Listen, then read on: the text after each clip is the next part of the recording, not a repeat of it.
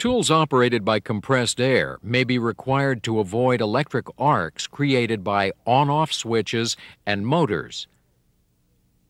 These arcs could ignite flammable or explosive vapors in the work area. Battery-powered tools like this one are safe for use in bad weather and around water.